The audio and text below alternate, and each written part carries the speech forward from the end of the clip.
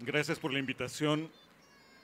Hace un año estuvimos aquí en el grito de todos y dijimos que era algo muy importante porque este régimen nos quitó durante muchas décadas hasta el derecho de gritar, hasta esta festividad popular que es nuestra, que surge de abajo. De pronto el régimen priista se la apropió, la ritualizó, hizo de ella un festival, una cena, nos, robó, nos robó esa posibilidad y por eso, por eso es tan importante que nos reunamos y gritemos porque el grito es nuestro, es el grito de todos. Y en efecto, hace un año gritamos todos, pero este año no estamos todos. Nos faltan 43.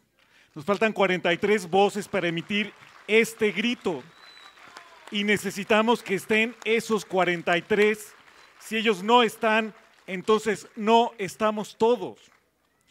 Y esa ausencia es, una, es un dato crucial respecto a lo que está pasando hoy en relación a lo que pasó hace un año este México no es igual porque faltan 43 muchachos. Y tenemos que pensar muy seriamente en qué es lo que está en juego ahí. Porque una sociedad que agrede a sus muchachos, a sus chavos, a nuestros muchachos de todos, esa sociedad se está muriendo.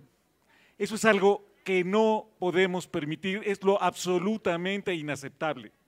Absolutamente. ¿Por qué recordamos el 2 de octubre? ¿Por qué pasó eso? Porque hubo una sociedad matando a sus muchachos. Y eso es lo único absolutamente inadmisible. Por eso 2 de octubre no se olvida ni se olvidará. Y por eso Ayotzinapa no se olvida ni se olvidará. Y por eso también la absoluta claridad del pueblo mexicano que diagnosticó inmediatamente y sin equívoco alguno fue el Estado. Fue el Estado, no es una postura nada más, es un diagnóstico de profunda sapiencia política, fue el Estado, porque es este Estado el que se ejerce como narcotráfico, se ejerce como corrupción.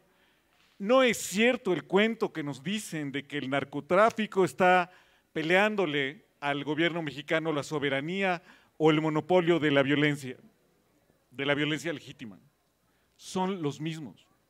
Es el Estado. Poco importa si fueron los rojos no sé qué o fue la policía no sé qué, es el Estado el que está atentando contra la sociedad y es esta sociedad la que tiene que defenderse y la que tiene que encontrar a estos muchachos. Este grito de independencia es el grito de los 43 de Ayotzinapa. Al rato que gritemos, si paramos bien la oreja, si nos fijamos bien, nos daremos cuenta que sí, que allí en el fondo se escuchan las voces de los 43 que están gritando con nosotros. Gracias.